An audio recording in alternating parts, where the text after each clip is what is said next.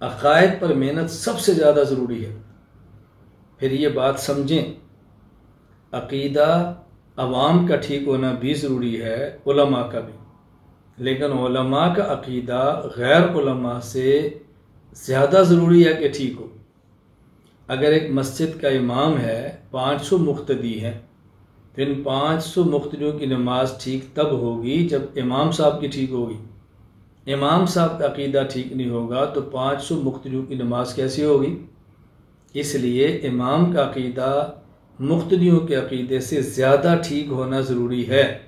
ये जेन नशीन फरमा लें मैं इसलिए गुजारिश कर रहा हूँ का अकायद को पढ़ना गैर उलमा से ज़्यादा ज़रूरी है। इसलिए हमने तखस फ़िलक़ायद इस्लामिया फ़िलवक्त के लिए रखा है। तो शरीयत के बुनियादी तौर पर पाँच अज़ा हैं। अकायद आमाल अखलाक, मामलात और माशरत।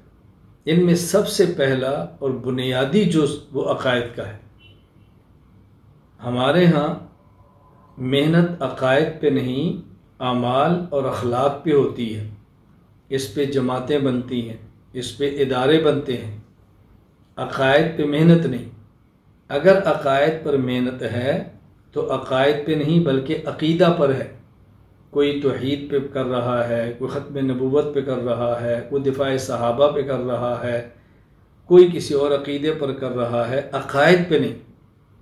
और कोई एक अकीदे पर करता है तो वो दूसरे बद अकीदा वाले शख्स को बर्दाश्त कर रहा है। अपने अकीदा पर मेहनत के लिए दूसरे बद अकीदा को बर्दाश्त करता है।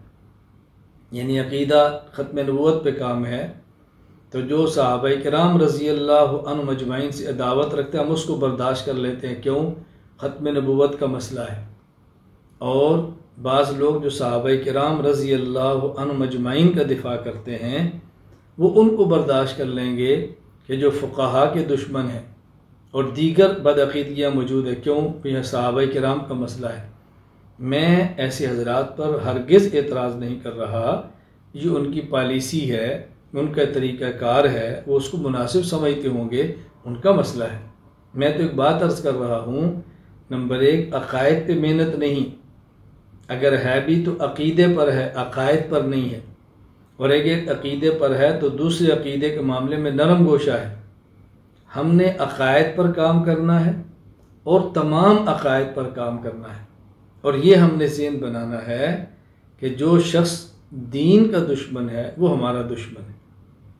खा वो छोटा हो खा वो बड़ा हो। ये जेन नशीन फरमा लें